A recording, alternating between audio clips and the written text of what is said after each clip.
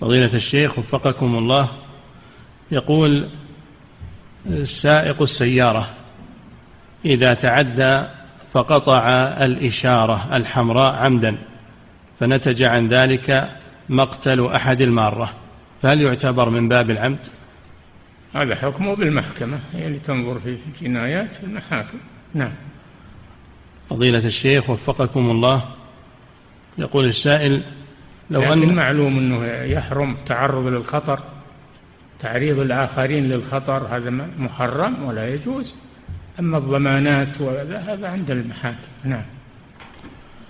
إعداد مشروع كبار العلماء بالكويت أعزها الله بالتوحيد والسنة.